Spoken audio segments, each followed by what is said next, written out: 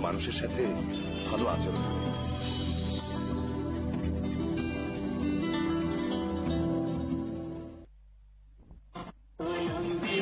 দেশবাসী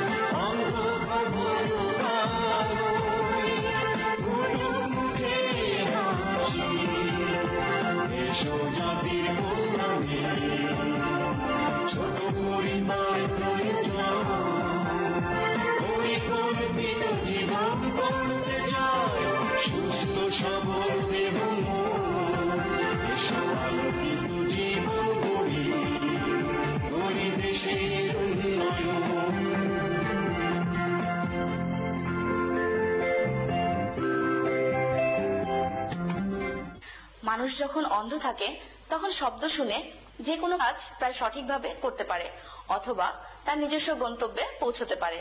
আর মানুষ যখন শব্দ শুনতে পায় না, তখন সে কথাও বলতে পারে না, এবং তার নিজের কাজটি সঠিকভাবে করতে পারে না। এর জন্য তাকে সাংকেতিক ভাষার ব্যবহার জানতে হয়। আর সাধারণ মানুষের পক্ষে সাংকেতিক ভাষা জানা সম্ভব নয়। শ্রবণ প্রতিবন্ধীদের জন্য জীবনযাপন একটি দুষ্কর প্রক্রিয়া। ককলিয়ার ইমপ্ল্যান্টের মাধ্যমে শ্রবণ প্রতিবন্ধীদের বাকশক্তি ফিরিয়ে এনে স্বাভাবিক জীবনযাপনের উদ্যোগ গ্রহণ করেছে বঙ্গবন্ধু শেখ মুজিব মেডিকেল বিশ্ববিদ্যালয়ের নাক্কান গলা বিভাগ। আসুন আমরা সম্পূর্ণ প্রক্রিয়াটি বিস্তারিতভাবে জেনে নিই। মহান সৃষ্টিকর্তা মানবজাতি সৃষ্টি করেছেন সৃষ্টির সেরা জীব হিসেবে। দিয়েছেন ভাষা। মানুষ ভাষার মাধ্যমে মনের ভাব প্রকাশ করে থাকে। কানে শুনে ও মুখের ভাষা বলে। কিন্তু সেই মানুষের মধ্যে কিছু মানুষ জন্মগতভাবে ও কিছু মানুষ পরিবেশ পরিস্থিতির কারণে বধির হয়ে থাকে। বধির মানুষেরা নিজের মুখের ভাষায় ও অন্যদের মুখের ভাষা শুনে তাদের মনের ভাব প্রকাশ করতে পারে না। প্রকৃতির সাথে লড়াই করেই মানুষ বেঁচে থাকে। আর প্রকৃতির সাথে লড়াই করে বেঁচে থাকতে বিজ্ঞানের আবিষ্কার মানুষকে সাহায্য করে থাকে। বধির ব্যক্তিদের মনের ভাব প্রকাশ ও শোনার জন্য বিজ্ঞানের প্রচেষ্টা দিন দিন অগ্রসর হচ্ছে। সেই অগ্রসরের ধারাবাহিকতায় বধিরদের জন্য বিজ্ঞানের চমকপ্রদ আবিষ্কার হচ্ছে ককলিয়ার ইমপ্লান্ট। নয় দশমিক ছয় পার্সেন্ট মানুষ প্রতিবন্ধী ধরনের বধিরতায় ভুগে থাকে। বাংলাদেশে প্রায় ষোলো লক্ষ মানুষ মারাত্মক বধিরতায় ভুগছে। ককলিয়ার ইমপ্লান্ট এই মানুষগুলোকে শুনতে ও ভাষা বলতে সাহায্য করবে। কিন্তু ব্যয়বহুল এই ইমপ্লান্ট ইলেকট্রিক ডিভাইসটি সাধারণ মানুষের ক্রয় ক্ষমতার বাহিরে। এই সর্বাধুনিক ডিভাইসটি মারাত্মক বা সম্পূর্ণ বধির ব্যক্তিকে শব্দ শুনতে সাহায্য করে থাকে। ইহা বায়োনিক ইয়ার নামেও পরিচিত। মারাত্মক বা সম্পূর্ণ বধির যারা উচ্চ ক্ষমতা সম্পন্ন হিয়ারিং এইড ব্যবহার করেও ভালো শুনতে সক্ষম হয় না। তাদের এই ককলিয়ার ইমপ্লান্ট প্রয়োজন হয়। কি নাম তোমার? আমার নাম মাঝে। তুমি আমাদেরকে একটি কবিতা শোনাও তো। বাতি দাই মাছে মো এত সাথী সবু কথা ও নাচে বউ। খুব সুন্দর হয়েছে। আমাদেরকে একটি কবিতা শোনাও তো। লিখেছেন আমাদের দেখেছি তা সবে নাই কৃপা বেলা সকল পাই পাই একসাথে আবার চালি ইমপ্লান্ট অপারেশনের মাধ্যমে অন্তকণের ককলিয়াতে স্থাপন করা হয়। ককলিয়ার ইমপ্লান্টের দুটি অংশ থাকে। একটি অংশ কানের ভিতরে ও অপর অংশটি কানের বাহিরে থাকে। বাহিরের পরিবেশের শব্দ বহিকর্ণের মাধ্যমে মধ্যকর্ণের পর্দার উপর পতিত হয়। উচ্চ শব্দ মধ্যকর্ণের পর্দা এবং ক্ষুদ্র অস্থিগুলোকে কম্পনের মাধ্যমে অন্তকর্ণের ককলিয়াতে প্রবেশ করে থাকে। আমরা এখন কথা বলব বঙ্গবন্ধু শেখ মুজিব মেডিকেল বিশ্ববিদ্যালয়ের ভাইস চ্যান্সেলর অধ্যাপক ডক্টর কামরুল হাসান খানের সাথে। স্যার, আমরা এখন আপনার কাছে জানতে চাচ্ছি, ককলিয়ার ইমপ্ল্যান্টের মাধ্যমে শ্রবণ প্রতিবন্ধীরা যেভাবে উপকৃত হচ্ছে এবং বঙ্গবন্ধু শেখ মুজিব মেডিকেল বিশ্ববিদ্যালয় যেভাবে সফলতা অর্জন করেছে, সেটা আপনি কীভাবে মূল্যায়ন করছেন? ককলিয়ার ইমপ্ল্যান্ট জিনিসটাই চিকিৎসা বিজ্ঞানের একটা বিস্ময়কর আবিষ্কার। যে শিশু বা যে মানুষ মানে অন্য কোনো চিকিৎসায় তার শ্রবণ শক্তি ফিরে পাবে না, সেই সমস্ত মানুষ বা শিশুরা এই ককলিয়ার ইমপ্লিমেন্টের মাধ্যমে কেবলমাত্র তার শ্রবণ শক্তি ফিরে পেতে পারে। সেখানে যে মানুষ কানে শোনে না, সে কথাও বলতে পারে না। এবং এই ধরনের মানুষের শ্রবণ শক্তি ফিরে আসতে সে কথা বলতে পারে। তার মানে আমাদের মানবিক জীবনের দুটি গুরুত্বপূর্ণ বিষয় একই সাথে যুক্ত। সেই হিসেবে যে কংক্লে, ককলের ইমপ্ল্যান্টের মাধ্যমে একশো পঞ্চান্ন জন মানুষ, এর মধ্যে অধিকাংশই শিশু। তারা তাদের শ্রবণ শক্তি যেভাবে ফিরে পাচ্ছে, একইভাবে কথা বলার শক্তি ফিরে পাচ্ছে। সেই হিসেবে এই মানুষগুলা একটা অন্ধকার জগৎ থেকে আলোর জগৎ ফিরে আসছে এবং তারা স্বাভাবিক জীবনের মেইন স্ট্রিমে ফিরে আসছে। এবং বর্তমানে মাননীয় প্রধানমন্ত্রীর বিশেষ উদ্যোগে যে প্রতিবন্ধী মানুষের জন্য উনি অনেক উদ্যোগ গ্রহণ করেছেন। যেমন অটিজম নিয়ে বাংলাদেশে খুবই কার্যকর কর্মসূচি যাচ্ছে। একইভাবে এই যারা শ্রবণ প্রতিবন্ধী ছিল বা একইভাবে যারা কথা বলতে পারতো না তারা এই ককলার ইমপ্ল্যান্টের মাধ্যমে তারা কিন্তু বড় ধরনের একটা জীবনের যে তাদের প্রতিবন্ধকতা, সেখান থেকে তারা মুক্ত হচ্ছে। কিন্তু মূল বিষয়টা হলো যে মাননীয় প্রধানমন্ত্রীর উদ্যোগে এটি সমাজ কল্যাণ মন্ত্রণালয়ের মাধ্যমে আমরা আর্থিক সহযোগিতা পাই। সেই আর্থিক সহযোগিতার মাধ্যমে আমরা ককলের ইমপ্লেন্ট কিনে এই সমস্ত দরিদ্র মানুষকে দেওয়া হচ্ছে। ককলিয়ারের সাথে অডিটরি নার্ভের মাধ্যমে মস্তিষ্কের যোগাযোগ থাকায় শব্দগুলো ইলেকট্রিক্যাল সিগন্যালে রূপান্তরের মাধ্যমে মস্তিষ্কে প্রবেশ করে এবং বধিরা তখন শুনতে পায়। স্যার, আমরা আপনার কাছে জানতে চাচ্ছি, অপারেশনের পূর্বে একজন রোগী কি কি প্রস্তুতি নেবে? অপারেশনের পূর্বে একটা বাচ্চা অন্যান্য পরীক্ষার সাথে আমরা তাদেরকে টিকা দিয়ে থাকি। সাধারণত পাঁচ বছর বয়সের নিচের যেসব বাচ্চাদের অপারেশন করা হয়, তাদেরকে টিকা দেওয়া প্রয়োজন। কারণ এখানে ম্যানিনজাইটিস একটা গুরুত্বপূর্ণ কমপ্লিকেশন এবং এটা প্রতিরোধের জন্য টিকা দেওয়া খুবই জরুরি। এছাড়াও আমরা বাচ্চাদের এইটার যে প্রত্যাশা, অপারেশনের পরের যে প্রত্যাশা, সেইটা যাতে আকাশচুম্বী প্রত্যাশা না হয়, সেই জন্য যেন বাচ্চার গার্জিয়ানদেরকে বা অভিভাবকদেরকে আমরা তাদের ফলাফল সম্বন্ধে তাদেরকে বিস্তারিত বলে থাকি যে কোন বাচ্চার কি ধরনের উন্নতি হবে। সব বাচ্চাদের একই রকম উন্নতি হয় না। কারও বেশি হয়, কারও কম হয়। ইমপ্লান্ট সার্জারি সাধারণত জেনারেল অ্যাস্থেসিয়া দিয়ে করা হয়। এই অপারেশনে দুই থেকে চার ঘণ্টার মতো সময় প্রয়োজন হয়। বঙ্গবন্ধু শেখ মুজিব মেডিকেল বিশ্ববিদ্যালয়ের নাক, কান, গলা বিভাগের ছয়জন সার্জন নিয়মিতভাবে এই অপারেশন অত্যন্ত স্বাভাবিকভাবে করে যাচ্ছে, কোনো ঝুঁকি ব্যতীত। একটি হায়ার টাইপ ককলিয়ারের মূল্য প্রায় বিশ লক্ষ টাকা। যা একটি দরিদ্র ও মধ্যবিত্ত পরিবারের পক্ষে জোগাড় করা সম্ভব না। তাই সরকারের সমাজ কল্যাণ মন্ত্রণালয়ের অর্থায়নে বঙ্গবন্ধু শেখ মুজিব বিশ্ববিদ্যালয় শ্রবণ প্রতিবন্ধীদের কল্যাণে দু হাজার দশ সাল থেকে দু হাজার তেরো মেয়াদে প্রথম পর্যায়ে development of cochlear implant program in Bangabandhu Sheikh Mujib বিশ্ববিদ্যালয় নামক কর্মসূচি বাস্তবায়ন করেছে। এই কর্মসূচির আওতায় বঙ্গবন্ধু শেখ মুজিব বিশ্ববিদ্যালয়ের নাক কান কলা বিভাগে চুয়ান্ন জন শ্রবণ প্রতিবন্ধীকে বিনামূল্যে বা স্বল্প মূল্যে ককলিয়ার ইমপ্লান্ট ডিভাইস প্রদান ও সার্জারি করা হয়েছে। তারা এখন কানে শুনতে ও কথা বলতে সক্ষম হচ্ছে। অপারেশনের তিন থেকে চার সপ্তাহ পর সুইচ অন করা হয়। সুইচ অন করতে বোঝায় ভিতরের ডিভাইসের সাথে বাইরের স্পিচ প্রসেসরের সংযোগ স্থাপন করা। সুইচ অনের সময় স্পিচ প্রসেসরের মধ্যে একটা প্রোগ্রাম সেট করে দেয়া হয়। মিনিমাম কতটুকু কারেন্ট লেভেলে সে হান্ড্রেড পার্সেন্ট শুনতে পাচ্ছে এবং সর্বোচ্চ কতটুকু কারেন্ট লেভেল সে টলারেট করতে পারছে। এই কারেন্ট লেভেলটা এই বাচ্চাটাকে শুনতে সাহায্য করে। আর এই প্রোগ্রাম সেট করাটাই হচ্ছে ম্যাপিং। সুইচ অনের দু সপ্তাহ পর আবারও ম্যাপ করতে হয়। তারপর এক মাস পর, তিন মাস পর, পর্যায়ক্রমে ছ মাস বা এক বছর পর পর ম্যাপটা করতে হয়। ম্যাপের মাধ্যমে তার কারেন্ট লেভেলটা তার শোনাটা যেন শ্রুতিমধুর হয় অ্যাডজাস্ট ফাইন টিউনিং করার জন্য মাঝে মাঝে ম্যাপিংটা করতে হয়। একইভাবে দু সাল থেকে দু সাল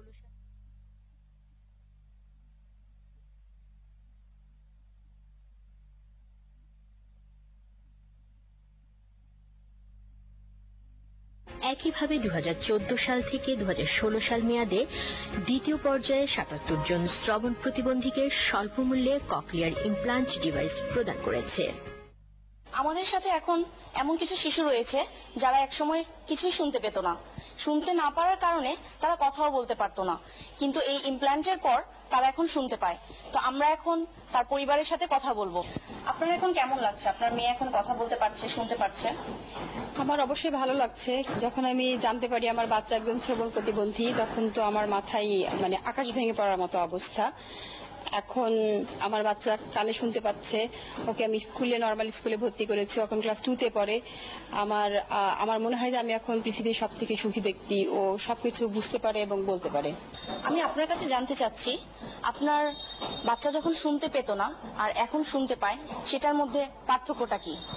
পার্থক্য যখনও শুনতে পেত না আর এখনও শুনতে পাই, এটা বলে বোঝানো আমার পক্ষে সম্ভব নয়। এখনও শুনতে পাই, স্বাভাবিক বাচ্চার মতো কথা বলতে পারে, শুনতে পারে, সবকিছু বলতে পারে, স্কুলে যায়, মনের ভাব প্রকাশ করতে পারে, যখন যেটা লাগবে ও চাইতে পারে। এই পিতামাতার পক্ষে এত টাকা ইনভেস্ট করে এই ককলিয়ার ইমপ্লান্ট করানো আসলে কোনো একটা নর্মাল ফ্যামিলির পক্ষে সম্ভব নয়, কখনোই সম্ভব নয়। সরকার যে উদ্যোগ নিয়েছেন, তার জন্য আমি আন্তরিকভাবে কৃতজ্ঞ। আমরা এখন একটি শ্রবণ প্রতিবন্ধী শিশুর বাবা মায়ের সাথে কথা বলব। শিশুটি এখন বধির, কিছুই শুনতে পায় না। আর দুদিন পর শিশুটির ককলিয়ার ইমপ্ল্যান্ট প্রতিস্থাপন হবে। আমরা বাবা মায়ের অনুভূতিটা জানতে চাচ্ছি। আমি একজন শ্রবণ প্রতিবন্ধীর বাবা হিসেবে, যে আমরা বিভিন্ন রোগী চিকিৎসা হয়েছে দেখেছি। যদি আমার সন্তানও কথা বলতে পারে আমার জীবনের একটা সফলতা। চিকিৎসক স্যারদের যেই চিকিৎসার মাধ্যমে আমি এই চিকিৎসা পাইতেছি বাংলাদেশ সরকারের মাধ্যমে। যেই চিকিৎসা পাইতেছি এটা আমার জীবনের একটা বড় পাওয়া প্রথম ও দ্বিতীয় পর্যায়ের ইমপ্লান্ট কর্মসূচি সফল হওয়াতে সরকার দু থেকে দু অর্থ বছরে আরও একটি নতুন কর্মসূচি গ্রহণ করেছে। আমরা এখন কথা বলছি বঙ্গবন্ধু শেখ মুজিব মেডিকেল বিশ্ববিদ্যালয়ের ট্রেজারার অধ্যাপক ডক্টর মোহাম্মদ আলী আসগর মোড়ল স্যারের সাথে। স্যার আমরা আপনার কাছে জানতে চাচ্ছি শ্রবণ প্রতিবন্ধীরা কীভাবে এই ককলিয়ার ডিভাইসটি পেতে পারে? বাংলাদেশে প্রায় আট লক্ষর মতো এই শ্রবণ প্রতিবন্ধী শিশু রয়েছে। এই শ্রবণ প্রতিবন্ধীর যে ন্যাশনাল বার্ডেনটা এটি নিরাময় করার জন্য আমরা এই প্রকল্পটি বঙ্গবন্ধু শেখ মুজিব মেডিকেল বিশ্ববিদ্যালয় সমাজ কল্যাণ মন্ত্রণালয়ের মাধ্যমে এটা বাস্তবায়ন করে থাকি। ককলিয়ার ইমপ্লান্ট একটি অতি দামি একটি ডিভাইস যেটি আমাদের দেশের অধিকাংশ পরিবারেরই এটি বহন করা সম্ভব হয়ে ওঠে না। এজন্য আমরা সমাজ কল্যাণ মন্ত্রণালয় এবং বঙ্গবন্ধু শেখ মুজিব মেডিকেল বিশ্ববিদ্যালয় আমরা কৃতজ্ঞ যে সমাজ কল্যাণ মন্ত্রণালয় গণপ্রজাতন্ত্রী বাংলাদেশ সরকারের মাননীয় প্রধানমন্ত্রী জননেত্রী শেখ হাসিনার নির্দেশে সমাজ কল্যাণ মন্ত্রণালয় এ ব্যাপারে এগিয়ে এসেছে এবং তারা আমাদেরকে ফান্ডিংটা দিয়ে থাকে। যখন আমরা ফান্ড পেয়ে যাই, প্রতি বছরই আমাদেরকে এটা শুরু হয়েছিল পাঁচ কোটি টাকা দিয়ে, এরপর সাত কোটি। আগামী বছরের জন্য আরও বেশি ফান্ড সমাজ কল্যাণ মন্ত্রণালয়কে চেয়েছি। কারণ আমরা দেখছি যে প্রতি বছর উত্তর উত্তর আমাদের রোগী বৃদ্ধি পাচ্ছে। মেডিকেলি তারা ফিট কিনা এই ডিভাইসটা নেওয়ার জন্য সেটি আগে পরীক্ষা করা হয়। এখানে একটা ফিট লিস্ট করা হয়। তারপর একটি আমরা সমাজ কল্যাণ মন্ত্রণালয় এবং বঙ্গবন্ধু শেখ মুজিব মেডিকেল বিশ্ববিদ্যালয় আমরা সম্মিলিতভাবে একটি নীতিমালা দাঁড় করেছি যেখানে কয়েকটা শ্রেণীতে ভাগ করেছি আমরা। অতি দরিদ্র পরিবারকে অগ্রাধিকার দিয়ে থাকি। অপেক্ষাকৃত কম বয়সী বাচ্চাদেরকে আমরা অগ্রাধিকার দিয়ে থাকি। এছাড়া সমাজ কল্যাণ মন্ত্রণালয়ের অধীনে কিছু সংস্থা আছে, কিছু স্কুল আছে, কিছু এতিমখানা আছে, ওইসব এতিমদেরকে আমরা অগ্রাধিকার দিয়ে থাকি। যার আওতায় চুয়ান্ন জন শ্রবণ প্রতিবন্ধীকে স্বল্প মূল্যে ককলিয়ার ইমপ্লান্ট ডিভাইস প্রদান ও সার্জারি করা হবে। সার্জারির পর সকলকে ভাষা শিক্ষা দেওয়া হবে। আমরা এখন কথা বলব বঙ্গবন্ধু শেখ মুজিব মেডিকেল বিশ্ববিদ্যালয়ের ককলিয়ার ইমপ্ল্যান্ট কর্মসূচির পরিচালক অধ্যাপক ডক্টর মোহাম্মদ আবুল হাসনাত জোয়ারদার স্যারের সাথে। স্যার, আমরা আপনার কাছে আজকে জানতে চাচ্ছি বাংলাদেশে কখন এবং কীভাবে এই ককলিয়ার ইমপ্ল্যান্ট কর্মসূচিটা চালু হয়? এই কর্মসূচি থেকে যে শ্রবণ প্রতিবন্ধী শিশু বা ব্যক্তি, যারা দুই কানেই একদম কিচ্ছু শোনে না বা যেটাকে আমরা বলি সম্পূর্ণ বধির, অথবা কেউ কেউ বলেন যে মারাত্মকভাবে বধির, তাদেরকে ককলিয়ার ইমপ্ল্যান্ট ডিভাইস দেওয়া হয়। ককলিয়ার ইমপ্ল্যান্ট একটা ইলেকট্রনিক যন্ত্র, তার দুটি অংশ থাকে। একটি অংশ সেটা অপারেশন করে কানের ভিতরে বসাতে হয়, আরেকটি অংশ থাকে বাইরে। সেটা অপারেশনের কিছুদিন পরে এটা বাইরে সেট করা হয়, দুইটা সংযোগ করা হয়। তারপর এই বাচ্চাটিকে অনেক আপনার প্রশিক্ষণ দিতে হয় যে কারও কারও ক্ষেত্রে এক বছর, দুই বছর এটা ট্রেনিং দিলে যে শিশুটি আগে জন্মবধির, যে কিনা আগে কানে শুনতে পেত না, সে কানে শুনতে পারবে এবং কথা বলতে সক্ষম হবে। এরপর যখন এই রকম একটা অবস্থা যে এই জিনিসটার অনেক দাম এবং এটা টেকনোলজিটাও বাংলাদেশে নাই। এই মুহূর্তে বাংলাদেশ সরকার এগিয়ে আসলো। এবং বঙ্গবন্ধু শেখ মুজিব মেডিকেল বিশ্ববিদ্যালয়ে এই ককলিয়ার ইমপ্ল্যান্ট কর্মসূচিটি হাতে নিল। দুই হাজার দশ থেকে দুই হাজার তেরো, আবার দুই হাজার চোদ্দ থেকে দুই হাজার ষোলো, এইভাবে দুটি আমাদের এখানে পর্যায় ছিল। সেখানে আমরা development of cochlear implant program in Bangabandhu Sheikh Mujib medical বিশ্ববিদ্যালয় এটা এখানে বাস্তবায়িত হয়েছে সমাজ কল্যাণ মন্ত্রণালয়ের অর্থায়নে। পরবর্তীতে গত বছর আর্থিক বছরে আমরা সাত কোটি টাকা বরাদ্দ পাই। এখান থেকে আমরা বিভিন্ন পর্যায়ে একশো পঞ্চান্নটি এ পর্যন্ত ককলের ইমপ্ল্যান্ট সার্জারি এখানে সম্পন্ন হয়েছে। এখানে আমাদের আরও বাহাত্তর জন ককলিয়ার ইমপ্ল্যান্ট প্রার্থীকে আমরা এটা অচিরেই অপারেশন করতে যাচ্ছি। এইভাবে আমরা এগিয়ে যাচ্ছি। এই কর্মসূচি ও ইমপ্লান্ট প্রতিস্থাপনে আরও অভিজ্ঞতা অর্জনের লক্ষ্যে সম্প্রতি নাক কান গলা বিশেষজ্ঞদের এক প্রশিক্ষণ কর্মশালা আয়োজন করে বঙ্গবন্ধু শেখ মুজিব বিশ্ববিদ্যালয়। এই কর্মশালাটি পরিচালনা করেন পৃথিবীর বিখ্যাত ইমপ্লান্ট বিশেষজ্ঞ ডাক্তারগণ। আর এইভাবে এই ব্যয়বহুল চিকিৎসাটি এগিয়ে যাচ্ছে বাংলাদেশে। আমরা অর্থনৈতিকভাবে যত শক্তিশালী হব তত বেশি বধিরদের এই চিকিৎসা স্বল্প মূল্যে বা বিনামূল্যে প্রদান করতে পারব। আমরা এখন কথা বলব বাংলাদেশ আওয়ামী লীগের স্বাস্থ্য ও জনসংখ্যা বিষয়ক সম্পাদক ডাক্তার রোকেয়া সুলতানা ম্যামের সাথে। ম্যাম আমরা আপনার কাছে জানতে চাচ্ছি বর্তমান সরকার এই ককলিয়ার ইমপ্ল্যান্টের মাধ্যমে যে সেবাটি দিচ্ছে সেটাকে আপনি কীভাবে মূল্যায়ন করছেন? মাননীয় প্রধানমন্ত্রী শেখ হাসিনা আমাদের দেশে যে কল্যাণমুখী কাজগুলি করে যাচ্ছেন, তার মধ্যে অটিজম এবং শ্রবণ শক্তি যাদের নেই, তাদের জন্য সুন্দর একটি কার্যক্রম গ্রহণ করেছেন। আমাদের এই বঙ্গবন্ধু শেখ মুজিব মেডিকেল বিশ্ববিদ্যালয়ে ককলিয়ার ইমপ্ল্যান্ট কার্যক্রম শুরু করেছেন। যেই ইমপ্ল্যান্টের দাম দশ লাখ, শুধুমাত্র অনেক কম টাকায় বলতে গেলে বিনামূল্যে এই শ্রবণ শক্তি যাদের নেই, তাদের দিয়ে থাকেন। আর এই কাজটি যা বঙ্গবন্ধু শেখ মুজিব মেডিকেল বিশ্ববিদ্যালয়ে নাক কান গলা বিভাগে সুন্দরভাবে করে আসছে। আমরা সবাই মিলে আমরা যদি এই চেষ্টাটা করি, তাহলে বঙ্গবন্ধু শেখ মুজিব মেডিকেল বিশ্ববিদ্যালয়ের নাক কান গলা বিভাগের এই কাজটি সাফল্যভাবে করতে পারব এবং জনগণের উপকার করতে পারব। তাই ভীষণ দু একুশ বাস্তবায়ন করে মধ্যমায়ের দেশে রূপান্তরিত হয়ে উন্নত রাষ্ট্রের দিকে অগ্রসরমান হলে শ্রবণ প্রতিবন্ধীরা এই ককলিয়ার ইমপ্লান্ট প্রতিস্থাপন করে তাদের স্বাভাবিক জীবনযাপনের সহযোগিতা করতে পারব বলে বাংলাদেশ বিশ্বাস করে। শব্দহীন পৃথিবী থেকে শব্দ জগতে ফিরে এসে সাধারণ মানুষের সাথে মিশে যাওয়ার এই প্রক্রিয়াটি আমরা দেখলাম। এতে করে দেশের মানুষ আশার আলো দেখবে। মানুষকে আর কোনো কিছুই পিছিয়ে রাখতে পারবে না। মানুষ পৌঁছে যাবে তার নিজস্ব গন্তব্যে। বঙ্গবন্ধু শেখ মুজিব মেডিকেল বিশ্ববিদ্যালয় এবং বাংলাদেশ সরকারকে সাধুবাদ জানাই শ্রবণ প্রতিবন্ধীদেরকে শ্রবণ শক্তি ফিরিয়ে দেওয়ার জন্য। আর কোনো মানুষ যেন বধিরতা নিয়ে বেঁচে না থাকে। আর এই প্রত্যাশায় আজকের অনুষ্ঠান এখানেই শেষ করছি। ছোট